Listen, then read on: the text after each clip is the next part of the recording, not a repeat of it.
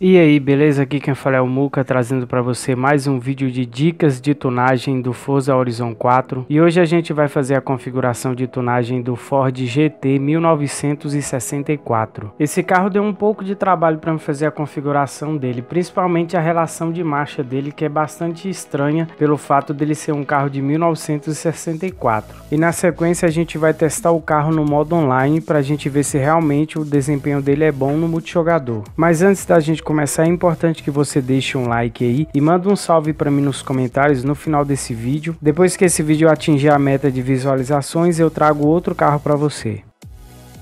Ok, estamos aqui na parte de oficina de aprimoramentos e eu vou te mostrar todas as peças que eu coloquei no carro, começando aqui pela conversão, troca de motor, eu estou usando o motor original do carro, troca de conjunto de transmissão 4x4, aspiração original, aerodinâmica e aparência, para-choque dianteiro. Ele não precisa de para-choque dianteiro de corrida porque ele já tem 7,1 de manobra, já é ótimo para essa classe. Aerofólio traseiro. Eu coloquei o aerofólio traseiro de corrida porque ele abaixa o PI do carro e dá para a gente colocar outras peças. Pneus e aros, composto de pneus original. Largura do pneu dianteiro 250, largura do pneu traseiro eu coloquei no máximo também, porque ele abaixa o PI, dá pra gente colocar outras peças. Estilo de aro, eu coloquei esse modelo da BBS, mas se você quiser você pode colocar qualquer outro modelo que tenha o mesmo peso. Tamanho do aro dianteiro e traseiro estão originais. Conjunto de transmissão, embreagem de corrida, transmissão de corrida, linha de transmissão de corrida, diferencial de corrida, plataforma e controle, freios os freios são originais, já está ótimo para essa classe.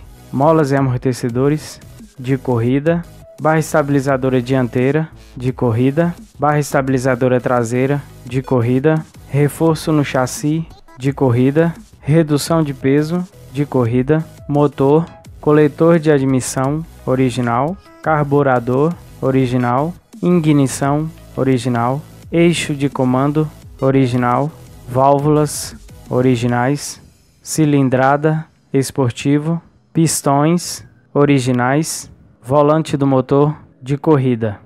Certo, terminamos os aprimoramentos, agora a gente vai para as configurações de tunagem. Não se esqueça de deixar o seu like aí e manda um salve para mim nos comentários aí no final desse vídeo para a gente bater a meta de visualização para me trazer outro vídeo para você.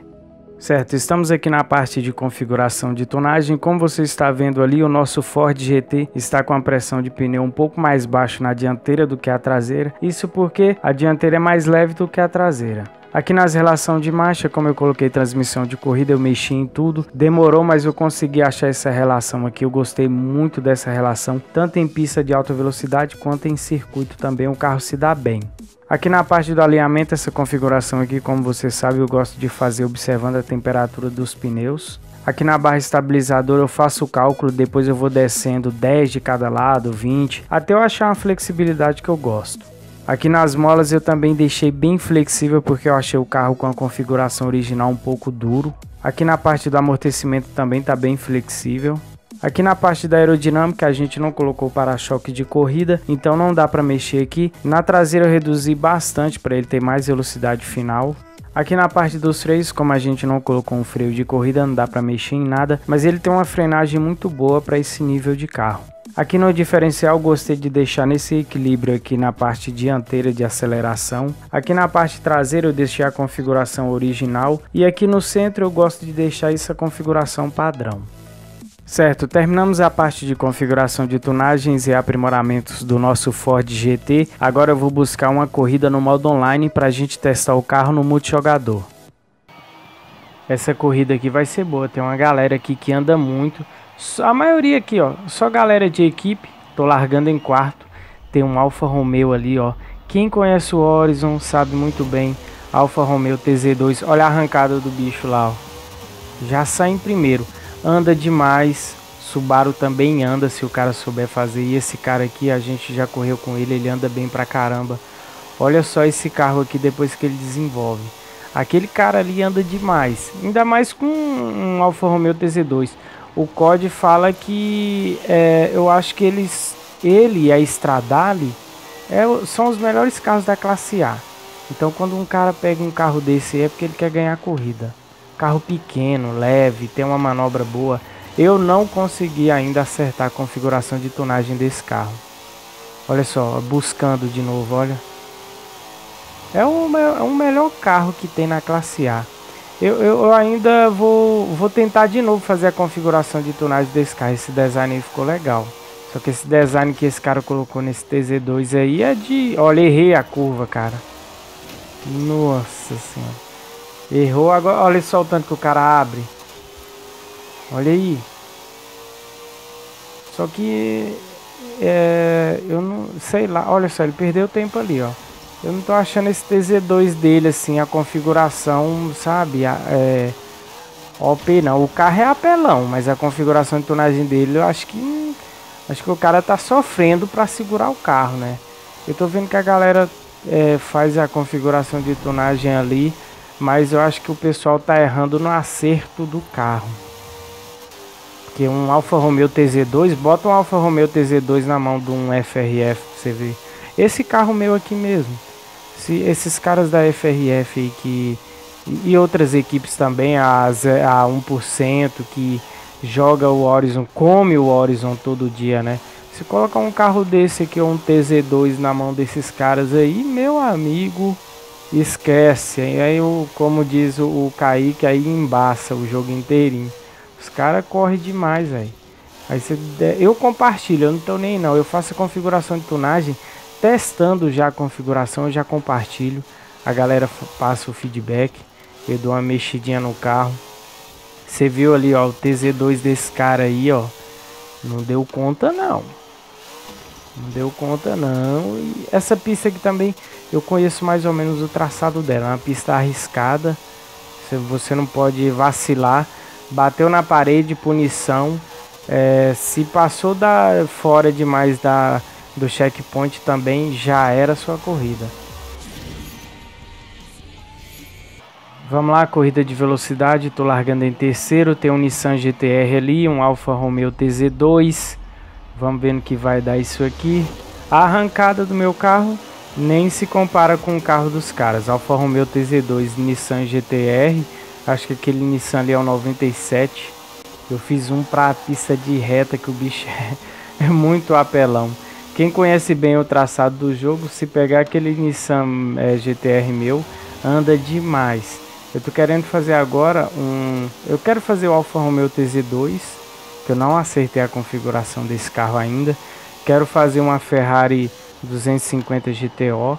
Inclusive, cara, é, se você observar no leilão, tem muita gente, eu não entendo.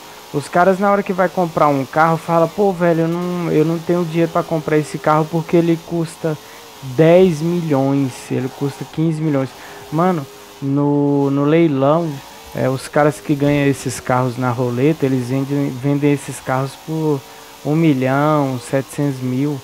É, eu, eu fiz o vídeo lá falando sobre como, como ganhar dinheiro, administrar o dinheiro no Forza Horizon.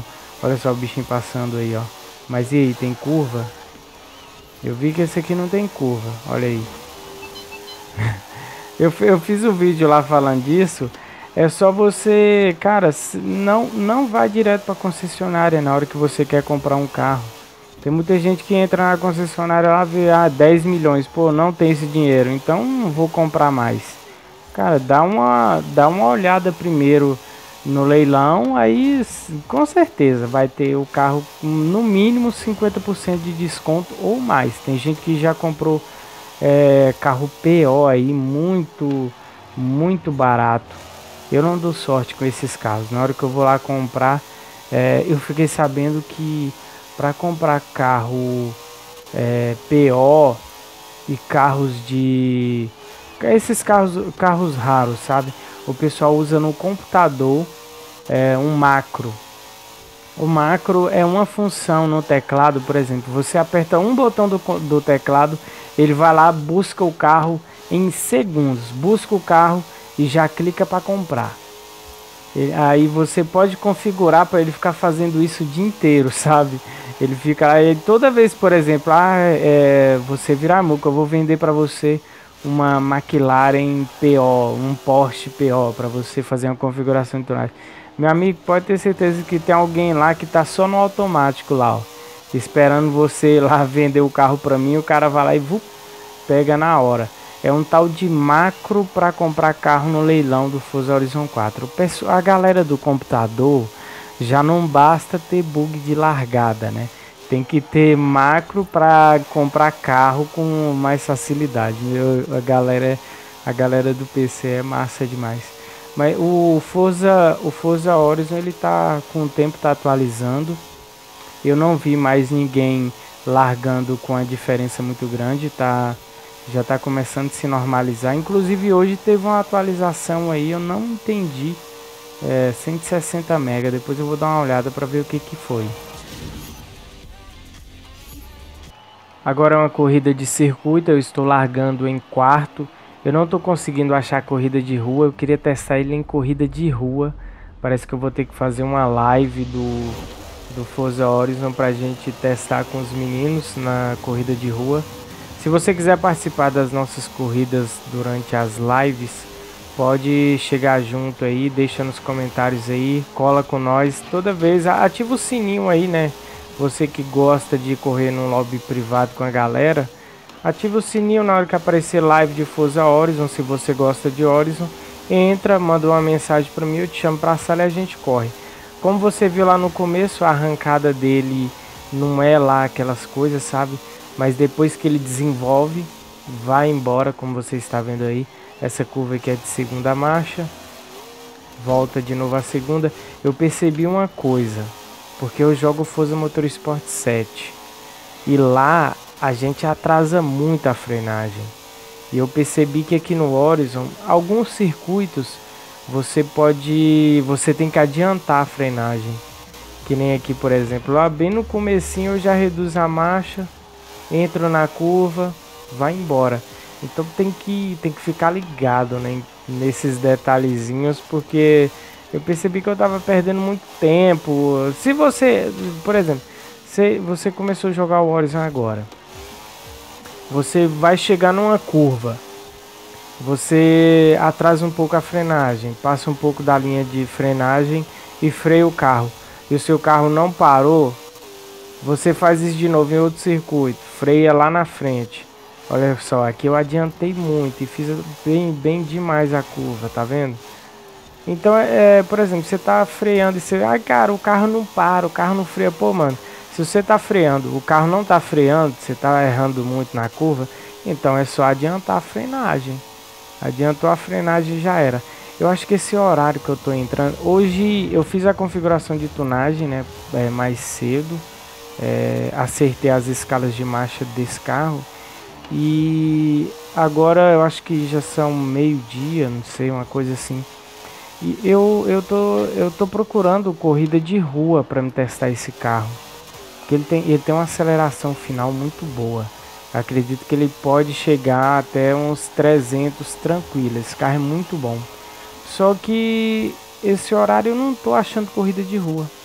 Só tô achando esse tipo de circuito aqui. Uma coisa que eu percebi nesse horário é que quando o pessoal começa a perder, a galera sai do lobby. Aí você tem que procurar outra. E outra coisa, quando cai corrida na neve, o pessoal sai fora.